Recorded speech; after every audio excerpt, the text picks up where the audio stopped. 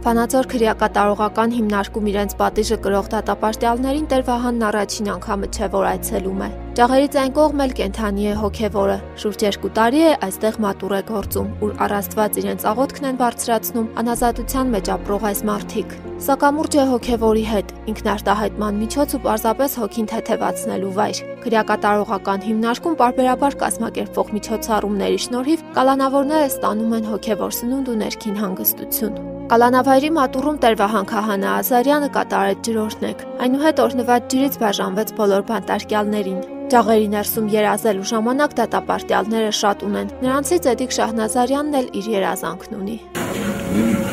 Իմ ընտանիքի երջանիկ ապտեր Բանտում պահպանվում է ոչ միայն կապը հոգևոր աշխարհի, այլև արվեստի հետ։ Աստվածի վկայությունը բանտում գործող արհեստագործական միությունն է։ Մասնագիտությամբ լրագրող Էդիկի սիրելի վայրերից մեկը։ Վերջին գործն այս եկեղեցին է, պատրաստված ստվարաթղթից։ Ստվարաթղթը լինի քարե թե գաղափարական, եկեղեցին իր ներսում ամբարած աստվածային լույսով ողողում ու լվանում է բոլոր հավատավորներին, մշտապես բաց պահելով փրկության ու ելքի դռներից գոնե մեկը, որտեղից անընդհատ կարելի է մտնել ու դուրս ելնել։